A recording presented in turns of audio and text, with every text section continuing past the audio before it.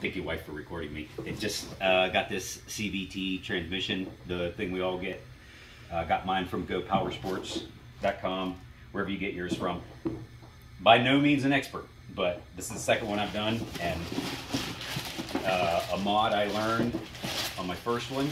Maybe I saved somebody a minute or two of time here, help you out. This is supposed to be for safety. Fan. Happy cyclekarting.